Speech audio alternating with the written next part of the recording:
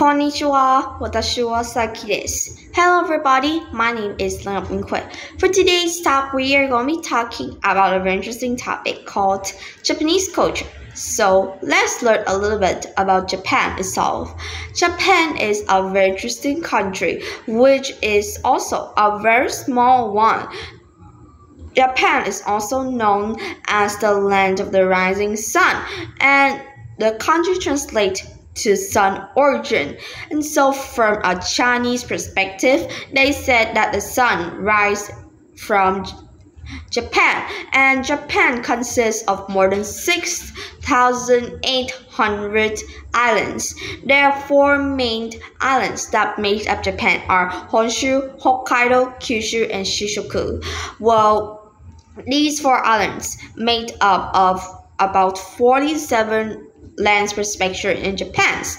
More than 70% of Japan is mountains, and Mount Fuji is of the biggest mountain in Japan with more than 3,700 meters high.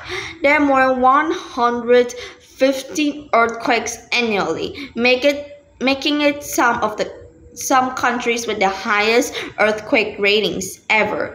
Japan has a population of around 106, 126 million people, which is less than half of the population of the United States. Yet, the area of Japan is just slightly larger than the area of California, a state in USA, which is very small.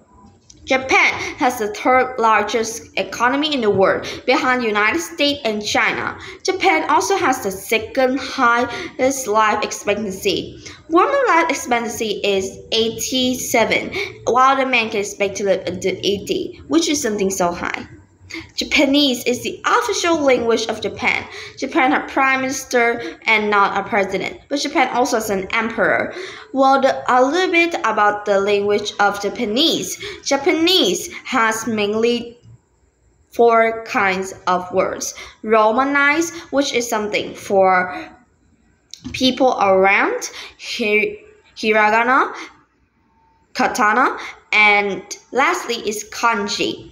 Well, those are very interesting things that you could try to learn if you want to. Summer is quite hot in Japan, and there's rainy season that lasts about six weeks. From early to midsummer, winter is especially cold in north part of Honshu and Hokkaido. Well, one very interesting thing about Japan is its amazing cuisines. Well, if you look at Japan, you see there's so many different things, such as from different kinds of noodles like uh, udon, ramen, or foods such as nirigagi or uh, bento, and a lot of sushi or sashimi. Also, mainly the Japanese cuisine is made up of five things: shashi, shushi, sho, and so it's actually a very interesting cuisine that you should try in your life.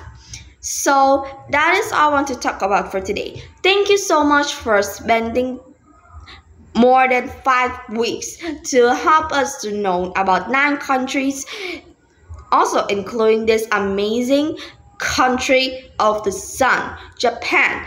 I really hope that I could learn more up with this with you in the next session maybe. And thank you so much and I really appreciate your help to make up this community where we could learn and share more about the amazing cultures of different countries around the world. Goodbye and see you next time.